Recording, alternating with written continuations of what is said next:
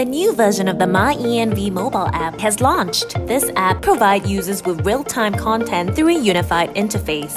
It has a comprehensive suite of information and services such as weather and air quality.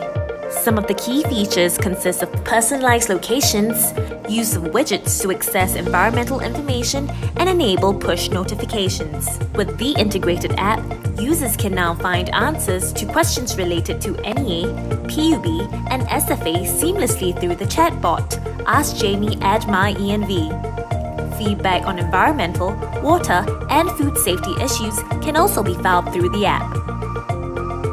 The new MyENV app is now available on Apple App Store and Google Play Store. Download today.